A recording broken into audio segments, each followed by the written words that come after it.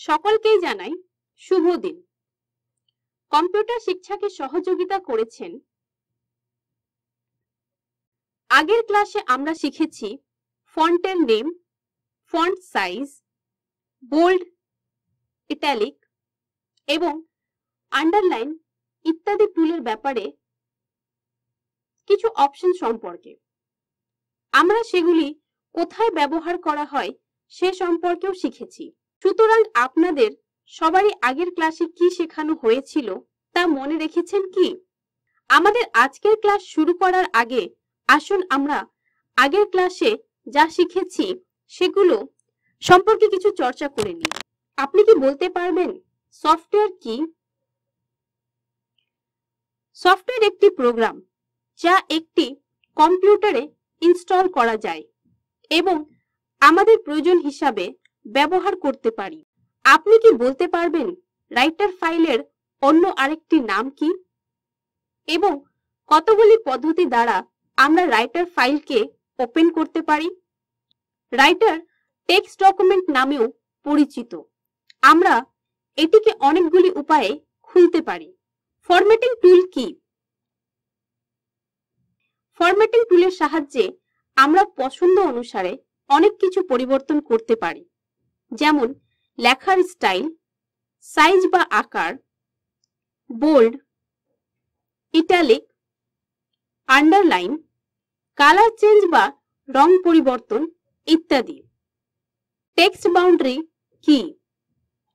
Writer পেজে type করার জন্য টেক্সট বাউন্ডারি আমাদের সাহায্য করে। রুলারের ব্যবহার কি? রুলার একটি স্কেলের মতো, যা আমাদের রাইটারের পেজে দুই দিকে থাকে। কতগুলি অ্যারো কি আছে এবং তাদের কি জন্য ব্যবহার করা হয়? চার ধরনের অ্যারো কি আছে এবং আমরা এগুলি ব্যবহার করে আমাদের কার্সারটিকে রাইটার পেজে এক জায়গা থেকে অন্য জায়গাতে সরানোর জন্য ব্যবহার করি। তবে আসুন আপনার কম্পিউটার সুইচ অন করুন এবং রাইটারের ফাইলটি ওপেন করুন। রাইটারের ফাইল ওপেন করার ক্ষেত্রে যদি আপনারা কোনো সমস্যা দেখতে পান, তাহলে ভিডিওটি সাবধানে দেখুন এবং এটি কীভাবে করবেন তাও শিখুন। রাইটারকে ওপেন করার জন্য আপনাকে সব থেকে আগে নিজের ডেস্কটপে গিয়ে ওপেন অফিস আইকনটিকে খুঁজতে হবে।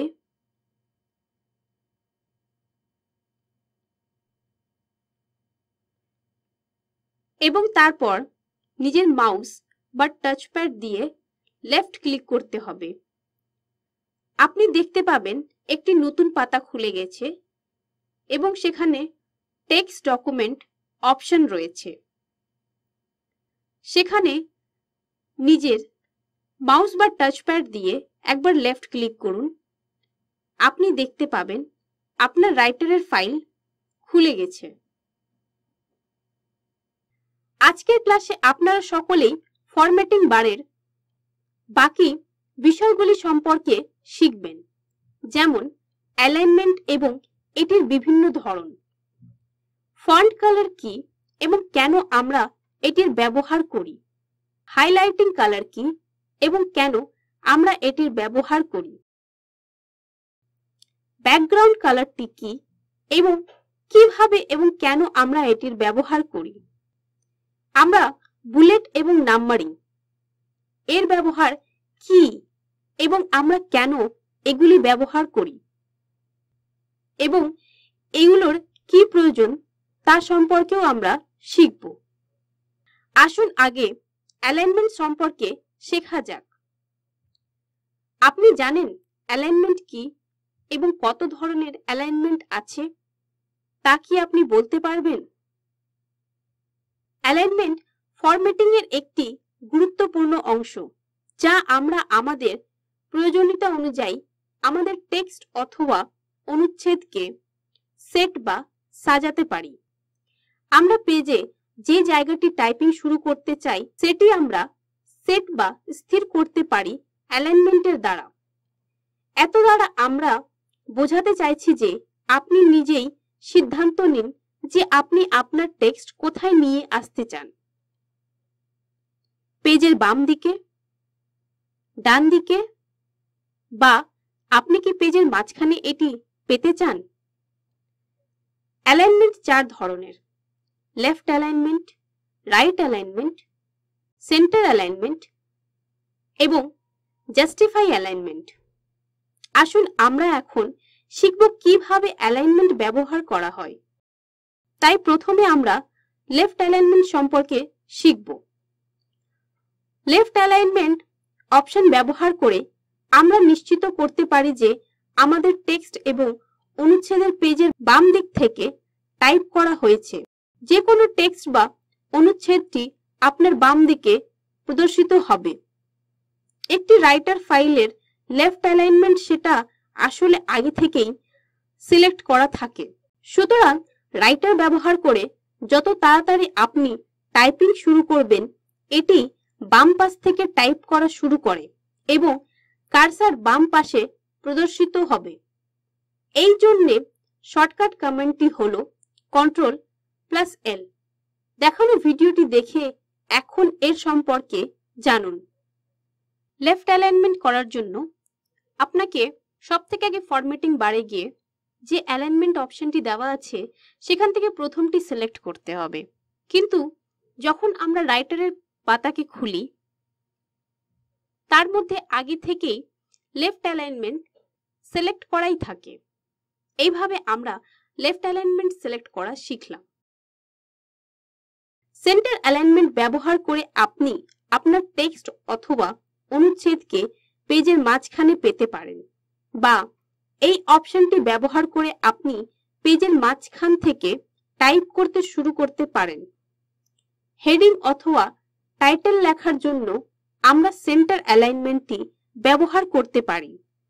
এই জন্য শর্টকাট কমান্ড হল কন্ট্রোল প্লাস ই। এখন ভিডিওটি দেখে এই বিষয়ে শিখুন। সেন্টার অ্যালাইনমেন্ট শেখার জন্য আপনি সব থেকে আগে নিজের রাইটারের শিটে গিয়ে দ্বিতীয় অপশনটিকে সিলেক্ট করুন।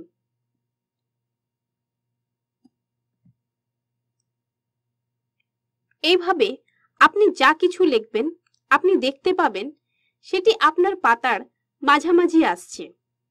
কারণ আমরা সেন্টার অ্যালাইনমেন্ট সিলেক্ট করেছি।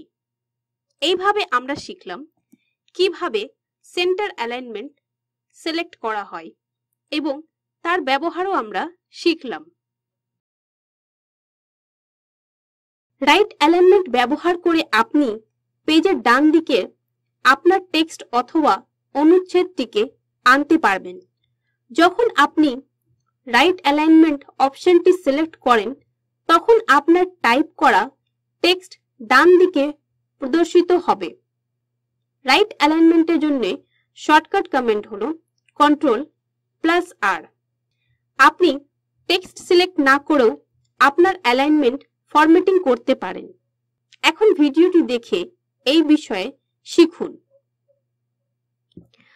রাইট অ্যালাইনমেন্ট শেখার জন্য আপনি সর্বপ্রথম নিজের রাইটারের পাতাতে গিয়ে ফরম্যাটিং বারে যে তিন নম্বর অপশনটি রয়েছে, সেখানে একবার ক্লিক করুন। আপনি দেখতে পাবেন আপনার কার্সারটি পাতার রাইট সাইডে চলে গেছে এবং আপনি যা টাইপ করছেন, সেটি রাইট সাইড দিয়েই টাইপ হচ্ছে। এইভাবে আমরা রাইট অ্যালাইনমেন্টের ব্যবহার শিখলাম। আমরা সব লাইন এক রকমের পরিণত করতে জাস্টিফাই অ্যালাইনমেন্ট ব্যবহার করি। এর দ্বারা বাম দিকে একই জায়গায় শুরু এবং ডান দিকে একই জায়গায় শেষ হয়ে যাবে। জাস্টিফাই অ্যালাইনমেন্ট সিলেক্ট করে সমস্ত লাইন একইভাবে পরিণত হবে এবং টেক্সট বা অনুচ্ছেদ পেজের বাম দিকে চলে আসবে। এর জন্য শর্টকাট কমেন্টটি হলো কন্ট্রোল প্লাস জে এখন ভিডিওটি দেখে এই বিষয়ে শিখুন। জাস্টিফাই অ্যালাইনমেন্টের ব্যবহার শেখার জন্য আপনারা সর্বপ্রথম নিজের রাইটারের পাতাতে যান এবং সম্পূর্ণ টেক্সটটিকে কন্ট্রোল প্লাস এ প্রেস করে সিলেক্ট করুন। তারপর ফরম্যাটিং বারে গিয়ে জাস্টিফাই অ্যালাইনমেন্টটিকে সিলেক্ট করুন। আপনারা দেখতে পাবেন সম্পূর্ণ টেক্সটটি জাস্টিফাই হয়ে গেছে মানে এক লাইনে চলে এসছে। এইভাবে আপনারা জাস্টিফাই অ্যালাইনমেন্টের ব্যবহার শিখলেন। এরপর আপনি সমস্ত এই পেজে দেখতে পাওয়া সব টেক্সট মুছে ফেলুন। এখন আপনাকে দেখানো অনুচ্ছেদটি দ্রুতই টাইপ করুন এবং টাইপ করার পর অনুচ্ছেদটি সিলেক্ট করুন। আপনি এই অনুচ্ছেদটিকে ফরম্যাটিংও করবেন। ফন্ট কালার আপনাকে টেক্সটের কালার পরিবর্তন করতে সাহায্য করে। ভিডিও সাহায্যে আমরা শিখে নেব কীভাবে আমরা একটি লাইন বা অনুচ্ছেদের কালার বা রং পরিবর্তন করতে পারি। ফন্ট কালারের ব্যবহার শেখার জন্য আমরা সর্বপ্রথম রাইটারের পাতাতে যাব এবং কন্ট্রোল প্লাস এ একবার প্রেস করব, যা দিয়ে আমাদের সম্পূর্ণ টেক্সটটি সিলেক্ট হয়ে যাবে। এবং তারপর ফরম্যাটিং বারে গিয়ে ফন্ট কালার অপশনটিকে একবার ক্লিক করব। সেখান থেকে নিজের ইচ্ছা মতন কালারটিকে চুজ করে ক্লিক করব। আপনারা দেখতে পাবেন টেক্সটির কালার পরিবর্তন হয়ে গেছে। এইভাবে আমরা ফন্ট কালারের ব্যবহার শিখলাম। এখন আমরা হাইলাইটিং কালার সম্পর্কে শিখব। আপনি পুরো লাইন অথবা অনুচ্ছেদের ব্যাকগ্রাউন্ড কালার বা পেছনের রং পরিবর্তন করতে হাইলাইটিং কালার ব্যবহার করতে পারেন। এমনকি যদিও আপনি মাঝে কিছু জায়গা ফাঁকা রাখেন। এখন আপনারা সকলেই ভালোভাবে জানেন কোন লাইন বা অনুচ্ছেদটি ফরম্যাট করার জন্য আপনাকে প্রথমে সেই লাইন বা অনুচ্ছেদকে সিলেক্ট করতে হবে। সিলেক্ট করতে আপনি টাচপ্যাড মাউস বা অ্যারো কি অথবা শর্টকাট কমান্ড ব্যবহার করতে পারেন। এখন এই অনুচ্ছেদটি সিলেক্ট করতে কন্ট্রোল প্লাস এ ব্যবহার করুন। এই ভিডিওটিকে সাবধানে দেখুন এবং হাইলাইটিং কালার অপশনটি ব্যবহার করার পদ্ধতি শিখুন। হাইলাইটিং কালারের ব্যবহার শেখার জন্য সব থেকে আগে আপনি রাইটারের পাতাতে গিয়ে কন্ট্রোল প্লাস এ প্রেস করুন, যা দিয়ে আপনার সম্পূর্ণ টেক্সটটি সিলেক্ট হয়ে যাবে।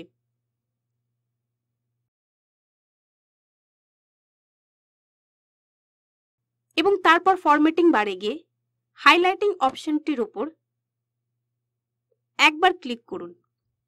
এখানে আপনি বিভিন্ন ধরনের রং দেখতে পাবেন এবং সেখান থেকে নিজের পছন্দ মতন একটি কালার সিলেক্ট করে নিন। আপনি দেখতে পাবেন আপনার সম্পূর্ণ টেক্সটটি হাইলাইট হয়ে গেছে।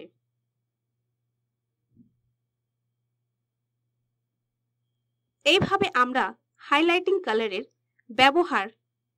কি করে করতে হয় সেটাও শিখলাম।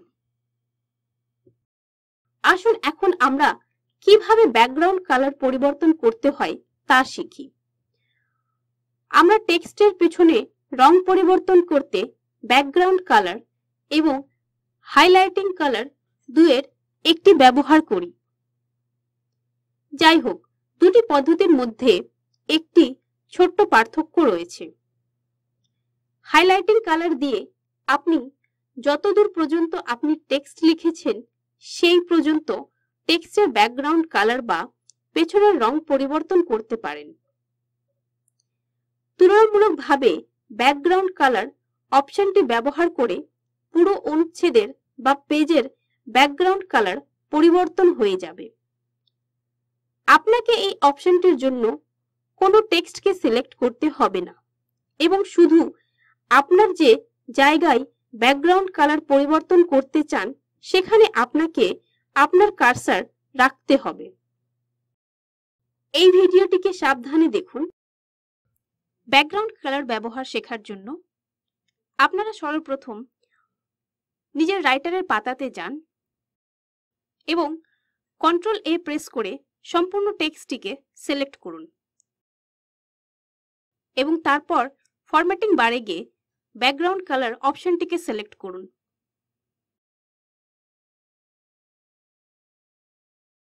আপনারা দেখতে পাবেন সম্পূর্ণ টেক্সটের পেছনে যে কালারটি আপনি পছন্দ করেছেন, সেই কালারটি চলে এসছে।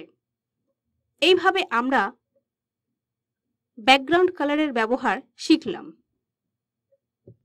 বুলেট এবং নাম্বারিং একটি অপশন যেগুলো আমরা একটি গুরুত্বপূর্ণ লাইন বা হেডিং তৈরি করার জন্য, সিম্বল এবং নাম্বার ব্যবহার করার জন্য স্থাপন করি।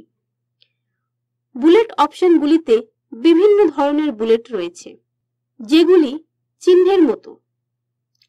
এই ভিডিওর সাহায্যে আমরা শিখব কীভাবে আমরা আমাদের লাইন বা অনুচ্ছেদের সামনে বুলেট বা নাম্বার স্থাপন করতে পারি।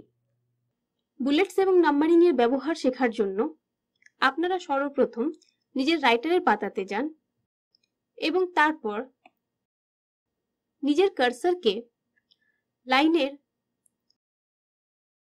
প্রথম অক্ষরটির আগে রাখুন।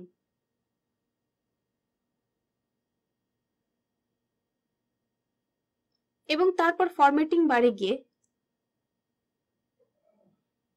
বুলেটস অপশনটিকে একবার ক্লিক করুন। নিজের মাউস বা টাচ প্যাডের লেফট বাটন দিয়ে। আপনারা দেখতে পাবেন, প্রথম অক্ষরের সামনে একটি চিহ্নর মতন চলে এসছে এবং আপনার রাইটারের পাতাতে বুলেটস এবং নাম্বারিং এর অনেকগুলো অপশন চলে এসছে। সেই অপশনগুলি থেকে আপনি বুলেটস অ্যান্ড নাম্বারিং অপশনটিকে খুঁজে নিন।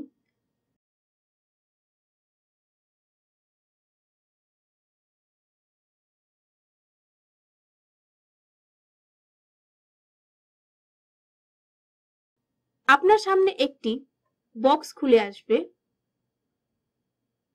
যেখানে বিভিন্ন ধরনের চিহ্ন রয়েছে। তার মধ্যে আপনি পছন্দ অনুসারে যে কোনো একটিকে সিলেক্ট করুন। এবং ওকে বাটনটি ক্লিক করুন। আপনারা দেখতে পাবেন, আপনারা যে বুলেটস এবং নাম্বারিং এর অপশনটিকে সিলেক্ট করেছিলেন, সেটি আপনার অক্ষরের সামনে চলে এসছে।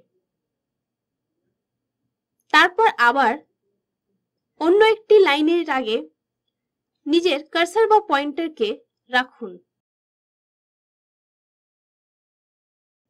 এবং আবার ফরম্যাটিং বারে গিয়ে নাম্বারিং অন অপশনটিকে ক্লিক করুন।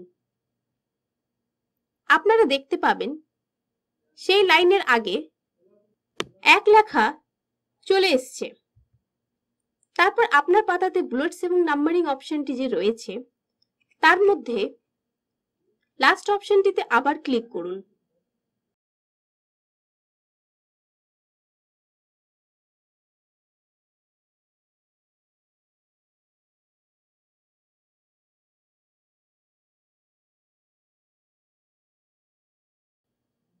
এবং নাম্বারিং টাইপ অপশনটিতে ক্লিক করুন। এবং নিজের ইচ্ছা অনুসারে আবার আউটলাইন অপশনটিতে যান এবং এখানেও দেখতে পাবেন বিভিন্ন ধরনের প্যাটার্ন রয়েছে। সেভাবে গ্রাফিক্স অপশনটিতেও বিভিন্ন ধরনের প্যাটার্ন রয়েছে। তারপর আবার আমরা ফিরে নাম্বারিং টাইপ অপশনে চলে আসলাম এবং এখান থেকে একটি প্যাটার্নকে সিলেক্ট করলাম এবং ওকে করলাম। আপনারা দেখতে পাবেন যে প্যাটার্নটি আপনি সিলেক্ট করেছিলেন, সেটি আপনার অক্ষরের আগে চলে এসছে। আমরা আবার ফরম্যাটিং বারে গিয়ে নাম্বারিং অপশনটিতে ক্লিক করব। আপনারা দেখতে পাবেন পরের লাইনের সামনে একটি নাম্বার চলে এসছে।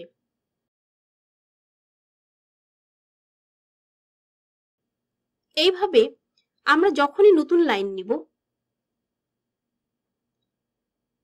যদি আমরা সিম্বল পছন্দ করে থাকি, তাহলে এন্টার বাটন প্রেস করলে সেই সিম্বলটাই চলে আসবে এবং যদি আমরা নাম্বার নিয়ে থাকি তাহলে এন্টার বাটন প্রেস করলে তারপরে নাম্বারটি চলে আসবে।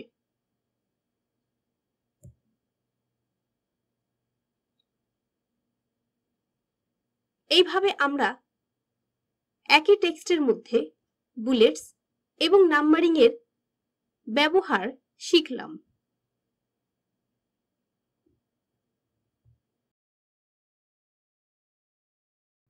আমাদের ক্লাস আজকে এখানেই শেষ। এখন আপনারা সবাই আপনার রাইটার ফাইলকে ক্লোজ করুন এবং যদি আপনারা রাইটার ফাইলকে ক্লোজ করার সময় কোনো সমস্যার সম্মুখীন হন, তবে ভিডিওটি দেখুন এবং শিখে নিন। রাইটারের ফাইলকে ক্লোজ করার জন্য আপনারা সব থেকে আগে ডান দিকের উপরে কোণেতে যে ক্রস বাটনটি আছে, সেখানে একবার ক্লিক করুন। আপনারা দেখতে পাবেন একটি ডায়লগ বক্স খুলে গেছে, যেখানে তিনটি অপশন রয়েছে সেভ ডিসকার্ড ক্যান্সেল যদি আপনারা এই পাতাটিকে সেভ না করতে চান, তাহলে ডিসকার্ড বাটনটিতে একবার ক্লিক করুন।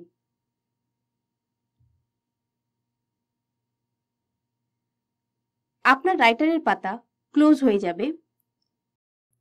তারপর আপনারা নিজের কম্পিউটারকে সঠিকভাবে শাটডাউন করে নিন। সব থেকে আগে আপনারা নিজের পয়েন্টারকে স্টার্ট বাটনে নিয়ে যান। তারপর আপনি দেখতে পাবেন শাটডাউন অপশন রয়েছে। সেখানে আপনি একবার ক্লিক করুন। এইভাবে আপনার কম্পিউটার বন্ধ হয়ে যাবে।